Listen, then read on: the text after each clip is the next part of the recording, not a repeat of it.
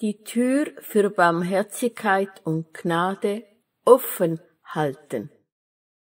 Matthäus 12, 20 Ein geknicktes Rohr wird er nicht zerbrechen und einen glimmenden Docht wird er nicht auslöschen, bis er das Gericht hinausführe zum Sieg.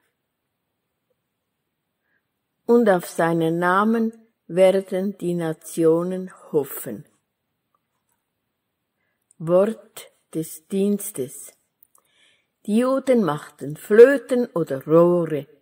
Wenn ein Rohr geknickt war, zerbrachen sie es. Sie machten auch Fackeln mit Dochten, um Öl zu verbrennen. Wenn das Öl ausging, dann glimmte der Docht und sie löschten ihn aus. Einige vom Volk des Herrn sind wie das geknickte Rohr, das keinen musikalischen Klang von sich geben kann. Andere sind wie der glimmende Docht, der kein scheinendes Licht von sich geben kann. Doch der Herr will die Geknickten nicht zerbrechen, noch die Glimmenden auslöschen. Obwohl der Herr abgelehnt wurde, war er immer noch barmherzig. Selbst diejenigen, die zu geknickten Rohren geworden waren, wollte er nicht zerbrechen, und diejenigen, die zu glimmenden Dochten geworden waren, wollte er nicht auslöschen. Vielmehr hielt er für sie alle immer noch die Tür offen für Barmherzigkeit und Gnade.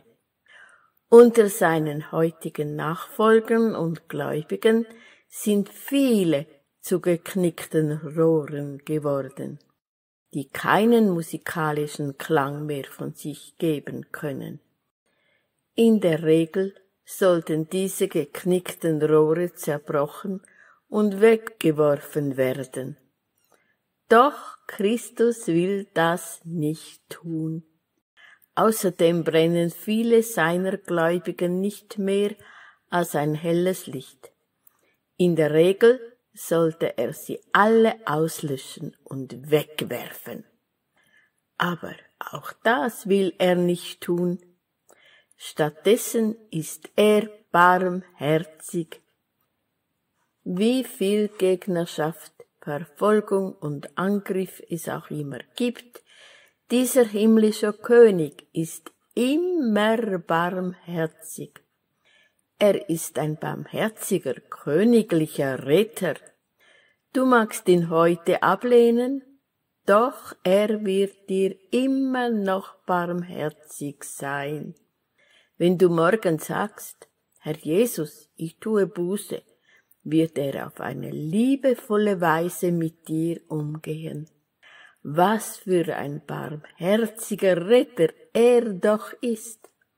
Er würde niemals ein geknicktes Rohr zerbrechen, noch einen glimmenden Docht auslöschen.